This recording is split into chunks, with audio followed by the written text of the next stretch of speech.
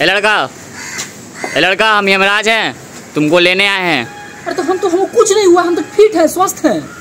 अरे तुम्हारा फ़ोन घर पे छूट गया है वो भी बिना लॉक के। हैं?